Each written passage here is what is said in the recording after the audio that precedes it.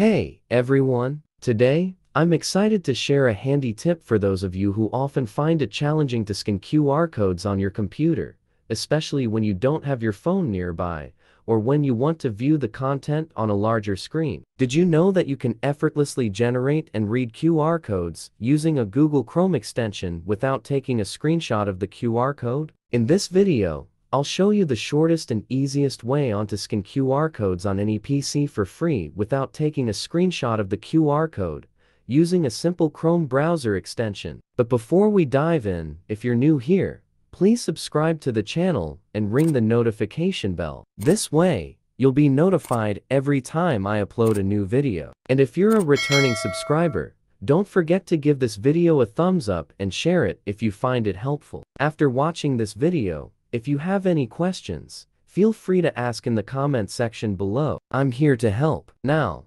let's get started. First, open your Chrome browser. We are going to scan this QR code to get the contents that are in the QR code. Before we scan the QR code, let us just open a new tab here. Next, we're going to add an extension called QR Code Generator and Reader. Click on the three dots in the top right corner of your browser. Go to More Tools, and then select Extensions.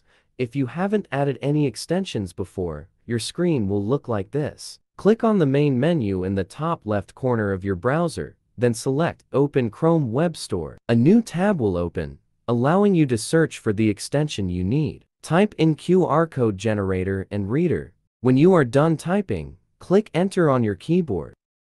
And you'll see an icon with the name you typed. Scroll down for the QR code name you typed. This is it. Here, click on it.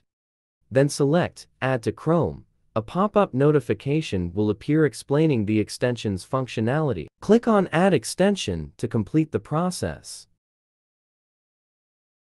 Now that you've added the extension, let's learn how to scan a QR code. Simply go to the website or platform that provided you with the QR code. Put your pointer over the QR code, right-click, and you'll see several options, including QR code generator and reader. Click on it. You'll be presented with two options. Generate a QR code and scan QR code. Select Scan QR code. It will display a link. This is the link.